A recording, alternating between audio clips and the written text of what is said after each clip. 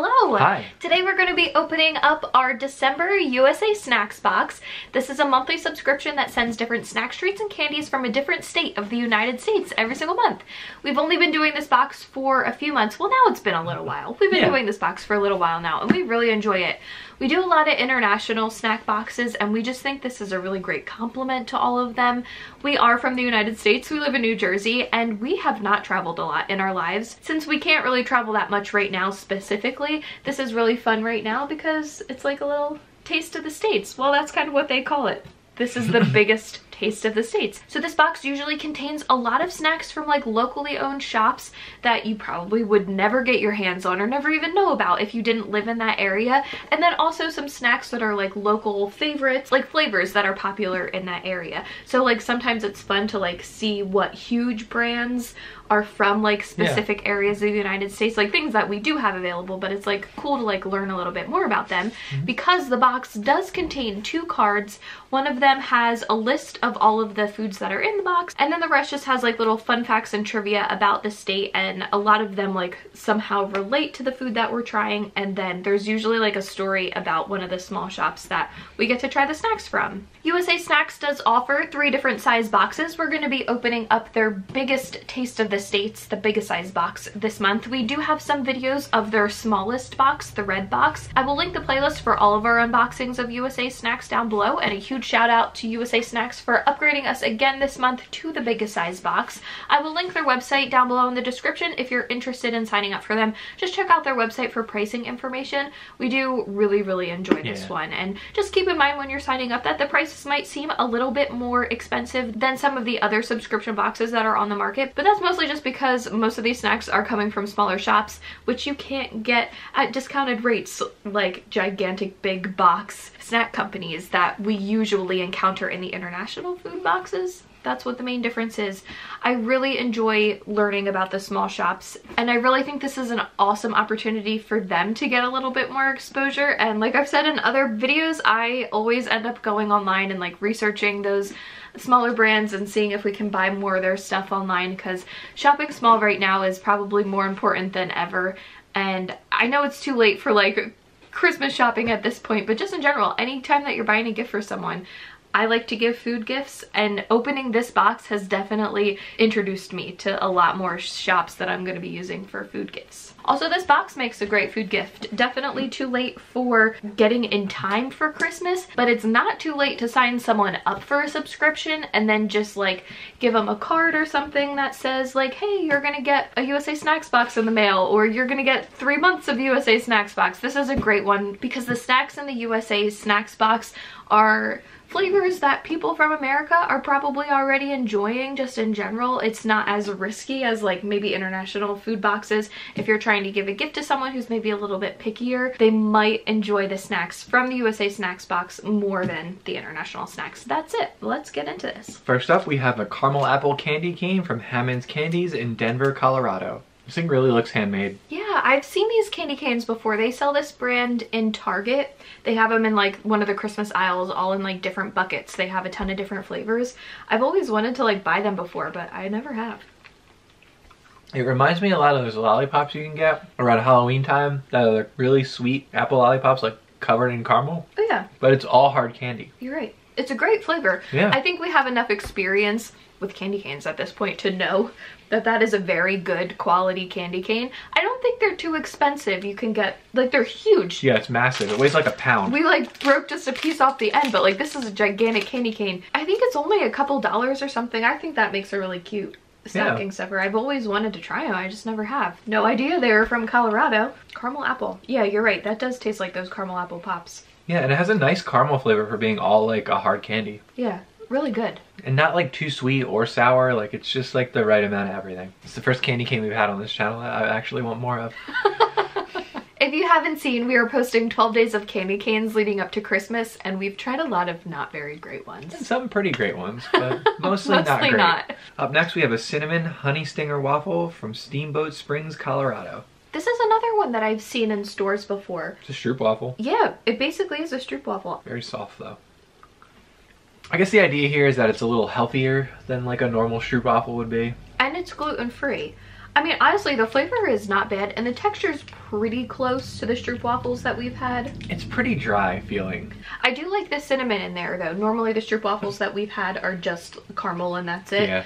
I do like the warmth from the cinnamon. Yeah, that part's nice. Also from Hammond's, we have a handmade cherry lollipop. Ooh, this smells good. It does really smell good and I don't even like cherry flavored things. Again, it looks super handmade. Yeah. Like, it has a very homemade look to it. Yeah, it really does. It does look really nice.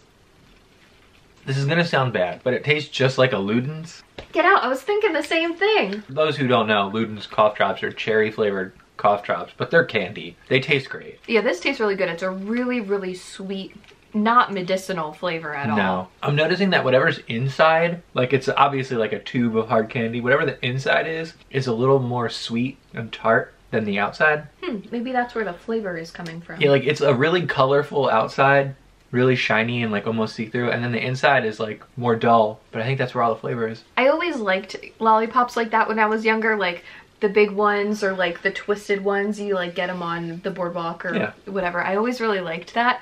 I would like something like this in like my stocking or something. I bet they sell these at Target too. I've just never paid attention to it. Yeah. So we do have a story about Hammonds. It says that in 1913, Carl T. Hammond came home from his first day of high school and announced he doesn't need any more education. His mother said, fine, but get a job. He did as an apprentice at a candy factory. In 1920, after World War I, he started Hammond's Candy Company. It started as a small family business and quality is their top priority. All treats are handmade. In 2007, Andrew Schumann purchased Hammond's. Hammond's has grown with international distribution. And it definitely still seems like they're doing everything handmade. Yeah, it's definitely good quality stuff. I mean, hard candy like that isn't something that I ever really like look for, but when I have it, it's never like that great. Yeah. So it's nice to know that like there is a great version of it. Yeah. Speaking of great hard candies, also from Hammond's, we have root beer drops. Well, we hope it's a great hard candy. We're just assuming at this Oh, point. I love root beer. These don't look like how I thought they were gonna look. They're vaguely barrel shaped. Well, they're mostly barrel shaped, but it's the color. Yeah. So it says that it's multi smooth drops that melt in your mouth. So it seems like it's gonna be more of like a root beer float sort of a flavor. And it is. It's delicious. My only complaint is that it's a little big. It is big, but I think they're normally this size. I actually have a fun story about root beer barrel candies. I feel like kids don't really do it as much in school, at least in the school that we work in. But like, remember dioramas? Yeah. So I had to do a diorama of the Boston Tea Party. And you use root beer and I used root beer barrels. That was my mom's idea. She's a creative one. This is really good. Really, really good. It tastes like a root beer float. hmm Speaking of root beer floats, The root beer float is said to have been invented by a man in Colorado who thought that the snow atop Cow Mountain looked like ice cream floating in soda pop. This is the best root beer candy I think I've ever had. It doesn't have that like overly herby medicinal taste. yeah, it's really, really good. It's not too sweet, but it's like still pretty sweet because it's soda. I think they make this flavor in a candy cane too. I'm pretty sure I've seen the root beer candy canes. This is Red Velvet Mug Cake Mix from Sweet Logic in Denver, Colorado.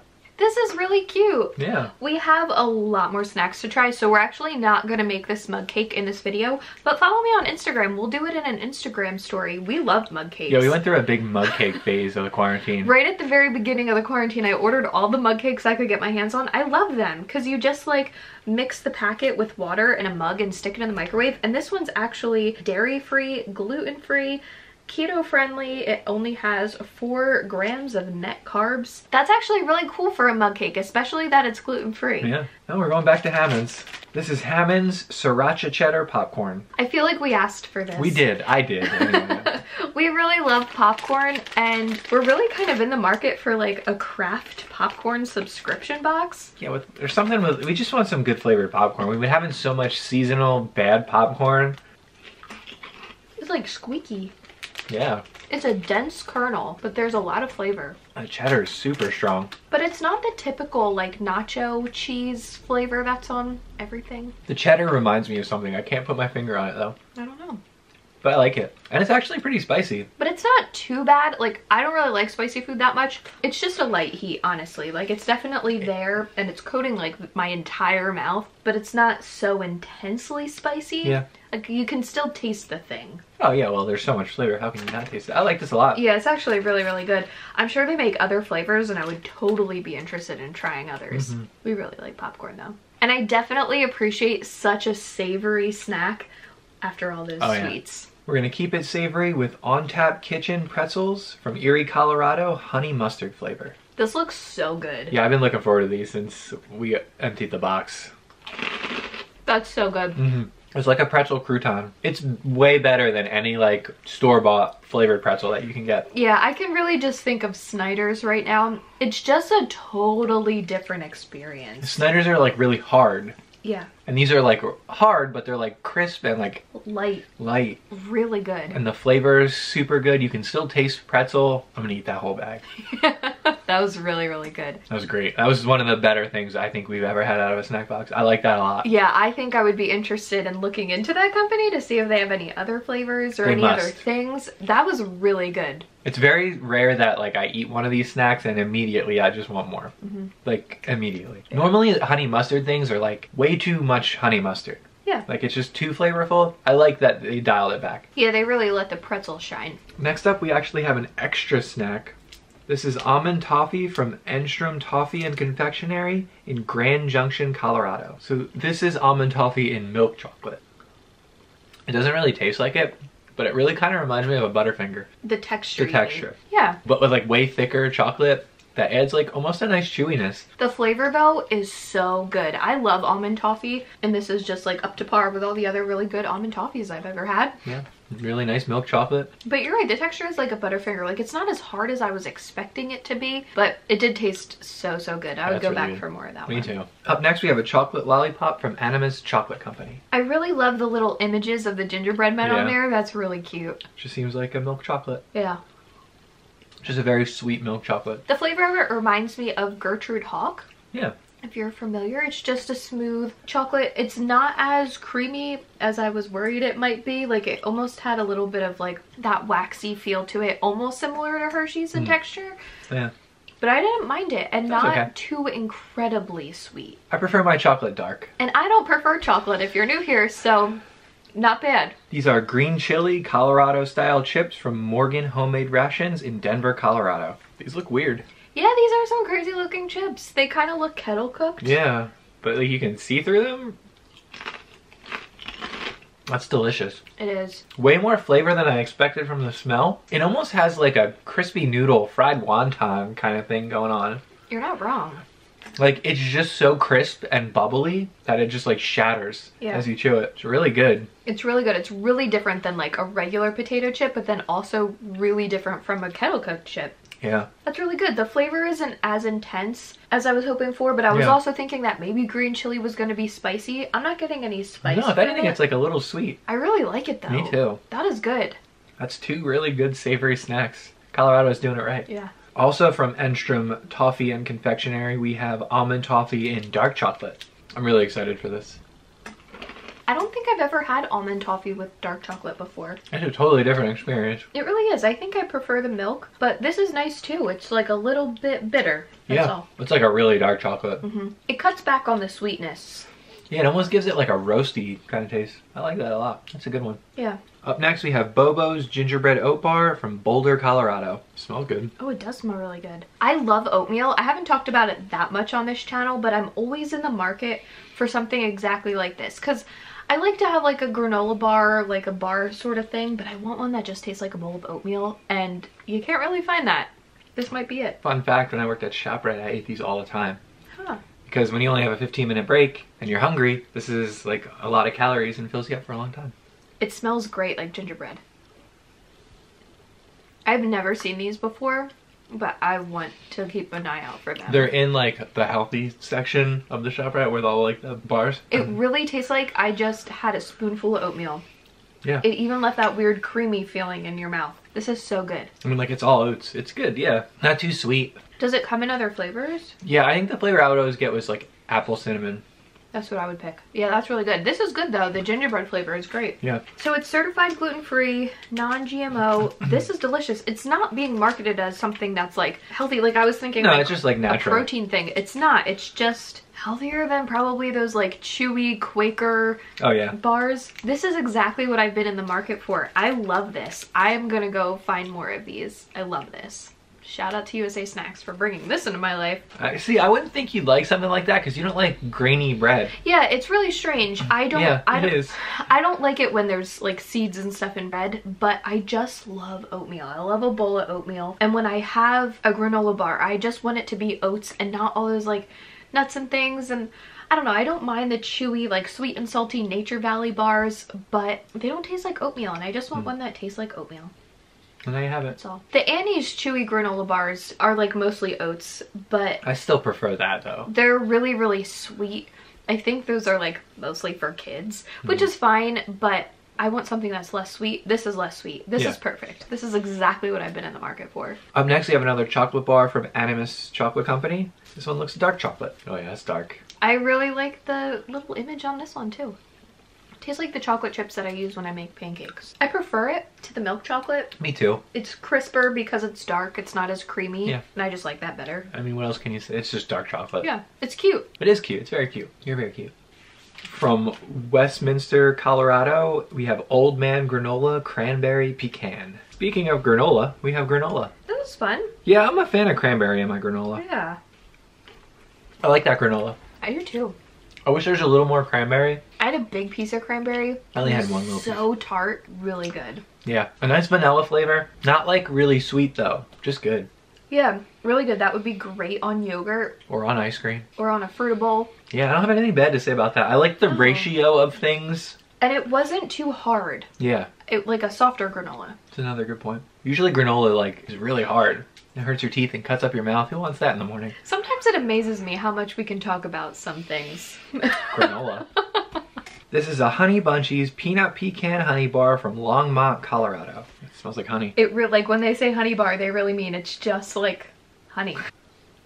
It's really good. Mmm. It mostly tastes of honey. I got like a strong salt though in the beginning. I guess Yeah. from the nuts. And it has a nice roasty taste from the nuts. Yeah. That really goes well with the honey. It's a fun texture. I mean, it's like a soft, soft caramel sort of Yeah. texture.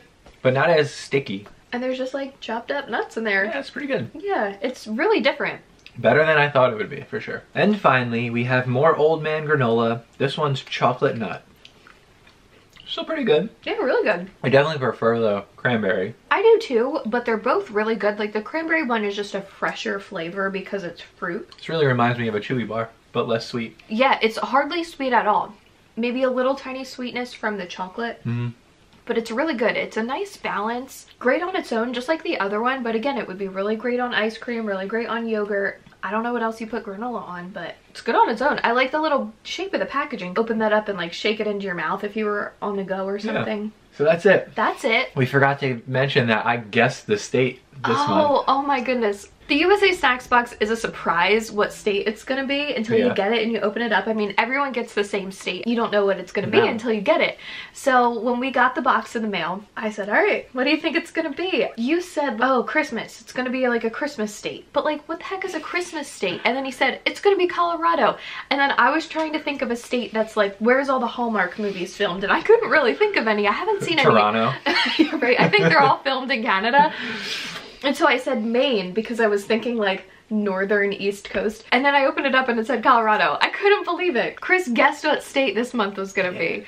That was funny. I would not have guessed that the snacks in this box were gonna be this good. No, these were like some of the best. I mean, like, they are usually good snacks, but like, these were seriously some of the best snacks we've ever had in a subscription box. There are so many that we are now gonna go look up. Chris has already been looking up the pretzels. He's ready to order like a variety pack of them. Oh yeah, This was a fun box. it really was. It's always fun, but I think it's just a different experience than the international snacks because they're already flavors that like you're used to. There's they're flavors that are available in the country that you're from if you're from America. I know that a lot of our viewers are not from America, but we're from America. Yeah. We've never been to Colorado. We've never been to any of the states that the boxes that we have had from USA Snax are from yet so far. So it's just a really fun experience, but the flavors are not too out there. no, So we can go into this knowing that we're probably gonna like everything and then it's just a bonus if we love it. Mhm.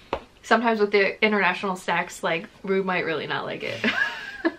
Thank you for watching. Give this video a thumbs up. Subscribe to this channel if you haven't already so you don't miss any of our other subscription box videos. And follow us on Twitter and Instagram and like us on Facebook. Those links are down below.